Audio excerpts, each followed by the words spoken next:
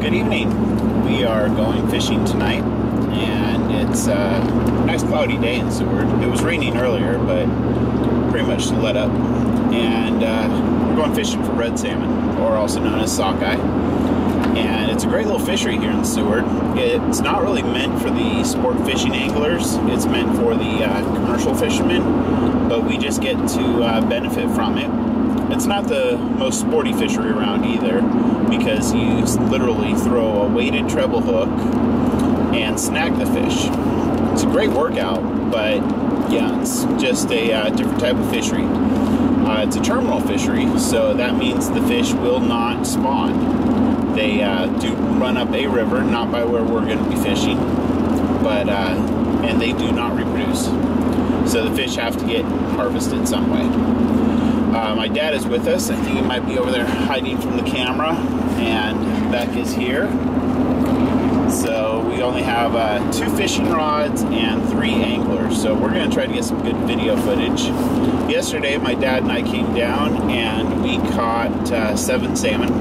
I won't, you know, divulge the uh, ratio of how it was div divvied up, but we got seven fish in a relatively short period of time and uh, we're hoping to do the same tonight and get some good video footage for you. So uh, stay tuned.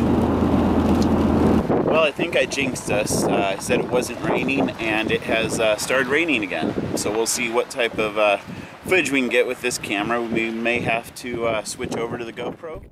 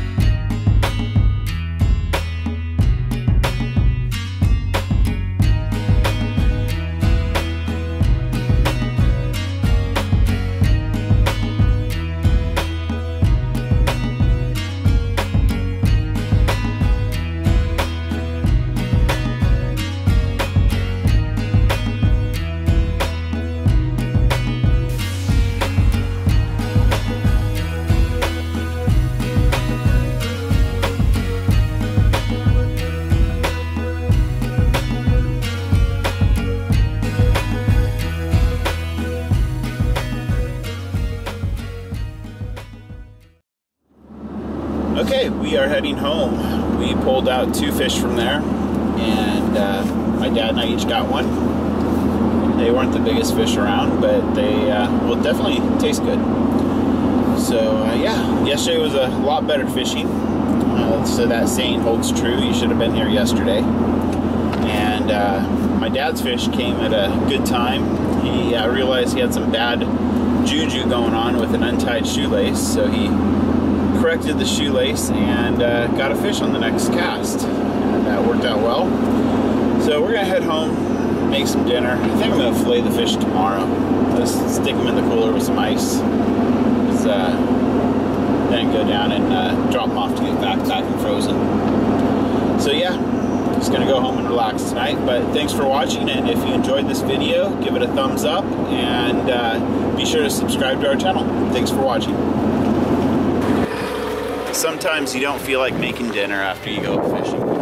So we're gonna come to our favorite burger place here in Seward. Red Burgers. It's really nice because they have wild game as well. So uh, you can get like an elk or caribou or maybe even a buffalo burger. What'd you get? Garlic french fries and a jalapeno hamburger. Ben will not be able to sleep in the same bed as me. I smell like jalapeno and garlic. Oh, I think I've uh, let out enough odors over the years. I can take a little from you.